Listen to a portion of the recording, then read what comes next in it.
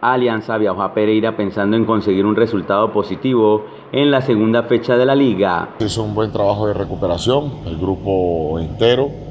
Afortunadamente de todos los que estuvieron convocados y participaron no, no hay ningún reporte negativo en cuanto a tema de lesiones, todos en óptimas condiciones y, y bueno, eh, ha sido una semana buena, ha sido una semana buena y con una gran expectativa hasta a nuestro próximo compromiso. Los de Barranca Bermeja tuvieron una semana para preparar este compromiso frente a los de la Perla de Lotún. Hemos trabajado en base a ello, lo que eh, queremos eh, implementar y el equipo lo veo con una idea clara de lo que de lo que queremos y eso es bueno. Un duelo de seis puntos con un equipo que está comprometido en el descenso. Y bueno, si viene un partido importante, un partido como lo hemos hablado, hoy en adelante todos los partidos son finales, son importantes y creo que contra Pereira es un equipo directo donde debemos sumar.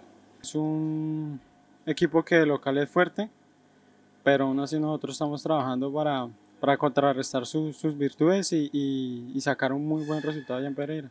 El onceno de la ciudad no tendría muchas variantes con respecto al equipo que le ganó a la Equidad en el estadio Daniel Villa Zapata. Con la mentalidad y la convicción de, hacer las cosas bien, hacer un gran juego y, y llevarnos los tres puntos. Eh, la preparación esta semana ha sido, ha sido muy buena, el clima pronto ha estado un poco duro, pero, pero bueno, eh, hemos pasado por encima de eso y, y, creo que va a ser muy importante el trabajo que ha hecho el profe en esta semana para plantearlo el lunes.